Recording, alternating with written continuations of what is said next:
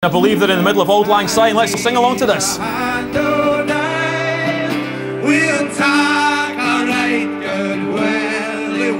We'll